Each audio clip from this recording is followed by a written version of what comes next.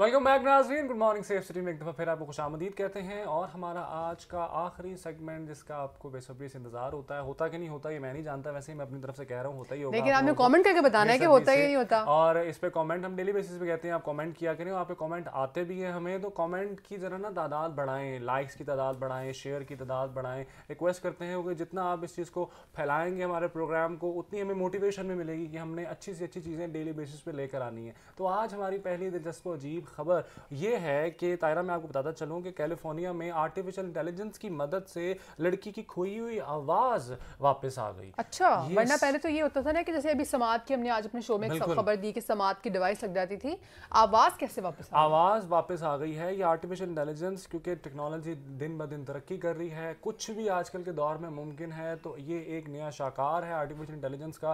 California में ये आ, आ, ये एक वाक़ पेश आया है जिसमें 21 साला लड़की जिसका नाम है आ, आ, जिसका नाम बताया गया है लेक्सी बोंग अच्छा। Lexi Lexi Bogan Lexi Bogan इनका नाम है। कैलिफ़ोर्निया हाँ, से हैं ये? कैलिफ़ोर्निया से हैं और इनकी आर्टिफिशियल इंटेलिजेंस की मदद से अ, इनकी खोई हुई आवाज़ लौटा दी गई है। लेकिन इसका मतलब इसका ये है थोड़ा सा मैं पैटर्न डिफाइन करता चलूँ कि ये बाकायदा बोल नहीं सकती लेकिन ये अपने मोबाइल फ़ोन के ज़रिए कुछ ऐसे सिस्टमेटिकली टूल्स को इंटीग्रेट करते हुए वो सब कुछ कह सकती हैं जो कि मोबाइल फ़ोन कन्वर्ट कर सकता है किसी दूसरे तक कि वो क्या कहना चाह ये एक रिसर्च भी थी मैं पढ़ थी कि जिस पे काम हो रहा था जो हो चुका हुआ है कि जो भी वो अपने मुँह से जो भी साउंड उनके निकलती है एआई उसको अंडरस्टैंड करता है और फिर वो दूसरे तक बिल्कुल वैसे ही पहुंचाता है जिस तरह से उनकी नॉर्मल जबान है जिस तरह वहाँ इंग्लिश बोली जाती है उनका एक्सेंट जो है वो इंग्लिश है तो वो अगर जो बोल रही हैं वो आर्टिफिशियल इंटेलिजेंस को समझ रहा है और उसको दूसरे तक एज इट इज़ ही ट्रांसलेट करके बता रहा है।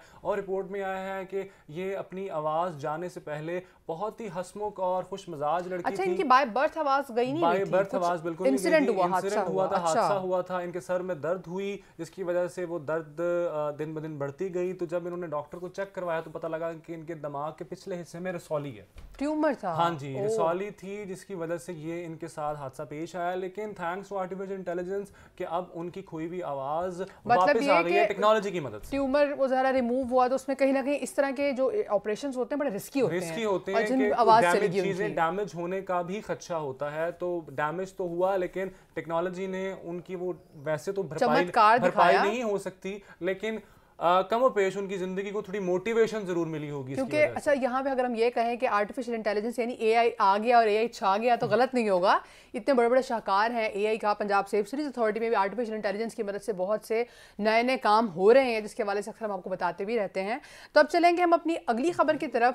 तो जुबैर खबर स्टार्ट करने से पहले हमेशा की तरह मेरा आपसे एक सवाल जुबैर को पहले ही पता था कि सवाल आने वाला है। तो आप मुझे बताएँ कि स्टूडेंट्स जब अपनी यूनिवर्सिटीज़ में कॉलेज में स्कूल में जाते हैं तो क्या वो ट्रांसपोर्टेशन के लिए क्या इस्तेमाल करते हैं most of the time transportation के लिए आ, ये तो उसके बजट पे डिपेंड करता है। कुछ फिर भी maxi- बहुत अच्छा बजट भी होगा। आजकल के दौर में तो इस तरह से इन ड्राइव चल रही है यंगो चल रही है इस तरह की ड्राइव्स करा लेते या अपनी कार पे जाते- या अपनी कार अपनी पे गाड़ी पे जाते होंगे या फिर बसों में जाते होंगे मोटरसाइकिल्स पे जाते होंगे। या साइकिल पे जाते ये होंगे। ट्रांसपोर्टेशन के लिए इस्तेमाल होती है या साइकिल पे जाते होंगे?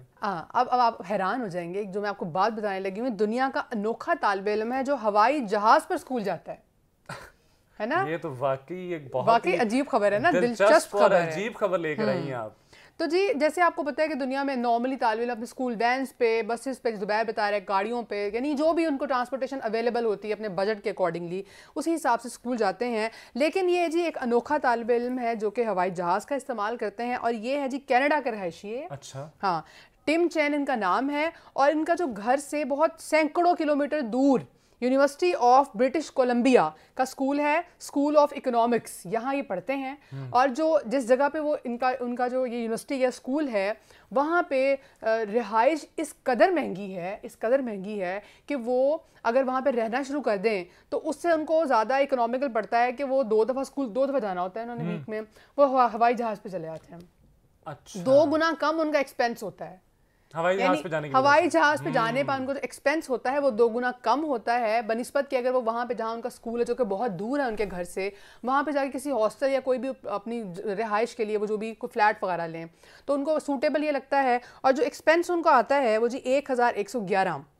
सॉरी एक सॉरी एक सौ ग्यारह one one one triple one. Triple one dollar, Canadian dollar हाँ जी। मतलब 111 कैनेडियन डॉलर उनका एक्सपेंस आता ये है। जो किराया उनका बनता किराया है बनता है। वो है एक तरफ़ का? ट्रिपल वन डॉलर एक तरफ़ का जाने का? टोटल का आने जाने का। हाँ। सही है। दो दफ़ा वो जाते हैं स्कूल और जो उनका मंथ में किराया बनता है वो इतना है जो अच्छा। बनता है जी आठ सौ नब्बे इसके अच्छा जी माहाना फिजाई सफ़र का जो खर्चा है वो आठ सौ नब्बे डॉलर बनता है। महाना खर्चा 890 डॉलर बनता हाँ। है। ठीक हो गया। जो कि जो अगर वो अपार्टमेंट लें यानी कि अगर वो हवाई जहाज़ के थ्रू जाते हैं तो 890 डॉलर उनका एक्सपेंस बनता है। और अगर वो अपार्टमेंट ले लें हम्म। जहाँ पे उनका स्कूल है तो इससे दो गुना ज़्यादा एक्सपेंस उनको बन, मतलब देना पड़ेगा। देना पड़ेगा तो इस लिहाज से ये उनको फ़ायदेमंद है। और ये बड़ी इंटरेस्टिंग खबर है कि उनको जहाज़ पे जाते हैं। बिल्कुल ये थी जी ताहिरा की तरफ़ से एक बड़ी ही दिलचस्प अजीब खबर। मैंने भी आपको एक बड़ी दिलचस्प अजीब खबर दी।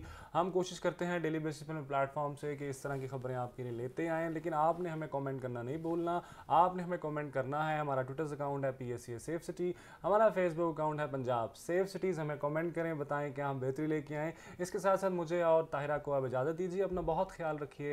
अल्लाह हाफ़िज़।